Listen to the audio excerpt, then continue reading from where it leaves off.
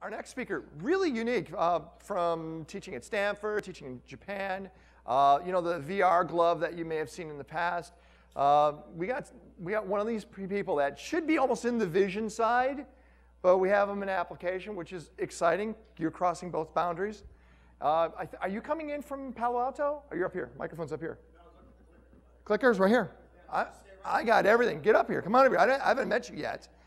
So, Mark, where are you based?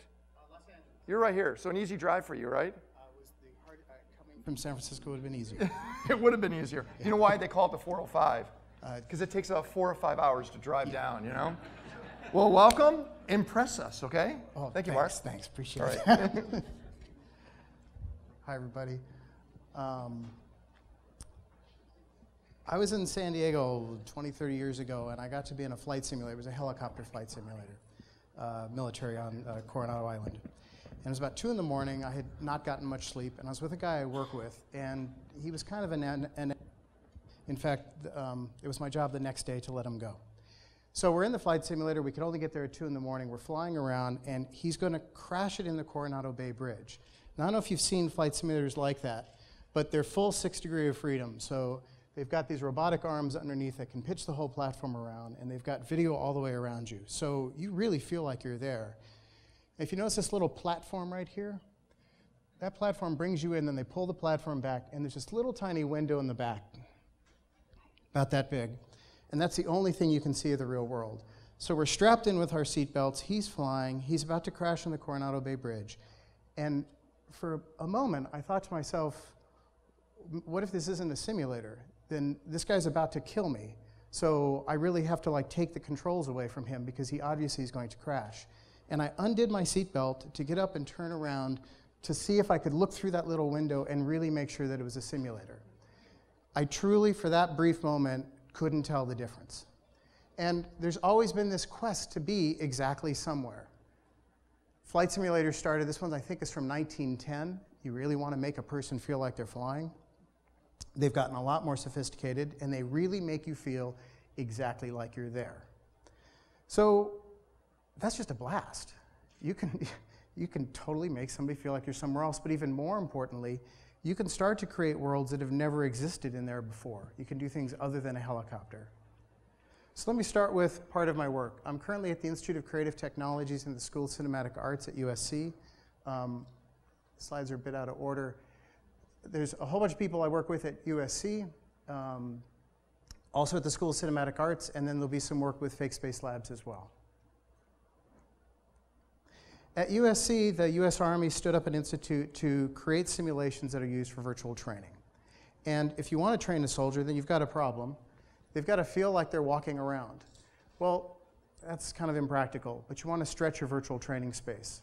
So one of the first experiments we've just concluded is a way to stretch space by doing redirection.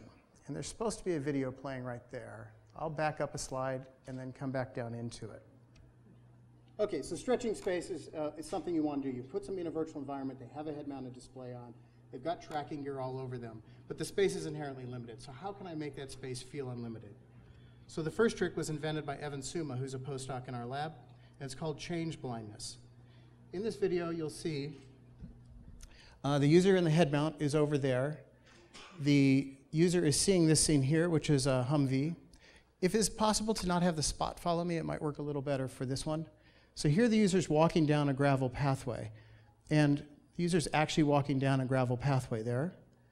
And the plan view of what they're doing is they're about to walk into this room here and they're searching for a weapons cache. So they turn left and they go into the room. That's what it looks like to them. They're looking back out the window at the Humvee.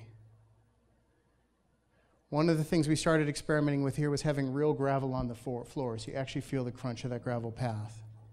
They go in and they're instructed to look in the boxes and see. It. Now, what just happened? When he looked in the boxes, the room was rotated by 90 degrees, or more importantly, the door was rotated to the other wall. So the door has had a 90 degree shift. It turns out you don't notice this. You go into the room, you look at the thing, you turn around, the door just went to the other wall, but in the corner, and you don't notice it. So when you leave, you've been redirected, he's right back where he started from but he thinks he just left the room and now he's walking down again. So you can just daisy chain these buildings and have them go infinitely down. And he keeps reinforcing the fact that he's in the right place because he feels the gravel on his feet. Evan just completed a study of this and also back uh, his doctoral work, and out of 70 users, one user noticed that the door had moved. And even more interesting is afterwards, you can ask the user to draw a map of what they just experienced, and the maps are accurate to the virtual world that you want to show. So that's one way to stretch space. Another one is to have the real world is represented in red and the, the virtual one is in blue. So we make a virtual space that's about twice as large. And on this one, the task is to push a litter, which is you know the thing they put people on a hospital to push them around. You'll see it in a second, uh, through a hospital. But there's a Wii Fit board on there that's sensing how hard you push. So if you push really hard, what we do is we just cheat and make the world move twice as fast by you. But you're so busy pushing that it feels right for the world to be moving faster. So that's what you see. And right there, that's tw- two times as fast of a motion. And then when the person comes around the corner, they're, they're not pushing as hard because they back off, so it slows down. And then it'll redirect again. And we get about a two time change in motion. This one we haven't done a study on yet, and we don't actually understand what's going on with it. But we do know that the real world's in blue, but the virtual world you think you're in is, um, is in red, and the virtual world is in blue. So, this is one example of really making you feel like you're somewhere else, but cheating to do it. So, you feel like you're really in that room that's twice as large. Virtual humans are another major effort, and Jackie Moore will be speaking of that later in the day. But really quickly, I just want to look at the display technologies and how they affect a virtual human from being there with you. Small monitors are little virtual people, they don't feel very real. Uh, Jarrell Pair, which initiated the lab, worked on this system, which used a flat screen but behind a door. So you had the propping around it, just like a virtual flat, to make it feel real. And you'd have to make, you know, good guy, bad guy decisions. This is the trans screen, which Jarrell also championed at the lab. And it's a semi transparent screen that almost looks holographic. So you can start mixing the person with some flats and some props. And then finally, this is a project I did with Andrew Jones and Paul Debevec at the lab. And it does a real time facial scan to create what really is the light field that would come off the face. This is, it, it, it really does Princess Leia. Um, so, this whole talk so far has been about bringing people from here and getting them to there so they really feel like they're somewhere. That's a time left? Oops. um,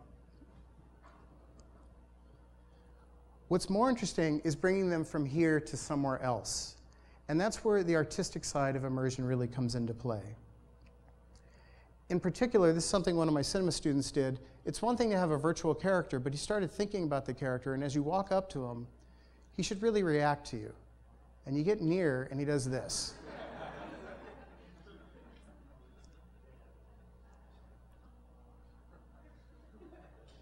and to me, it's an example of how if we allow ourselves to become more abstract with our data, we can really make people feel deeper there. And I have to ask, can I have three minutes to go over, or do you want me to stick to that? I burned a lot of time on that laptop thing. Okay, thank you. So there's a lot of pieces that I can show some other time that are ways of making things more abstract. But one in particular, uh, Kevin, if you could grab the mouse and click on the upper left video. I'm just going to talk about it. You can fly like a bird in a virtual environment by putting your hands to your side. And you think that's the way you want to fly. You just sort of swoop around like this. But one experiment we did was you fly with your hand, and you just fly a virtual plane with your hand like this. And you sort of like your hand outside of a car window. That turns out to be a lot more fun. And the thing I really want to get across today is that this is all pretty old work, the idea of bringing you from here to there to an abstract world.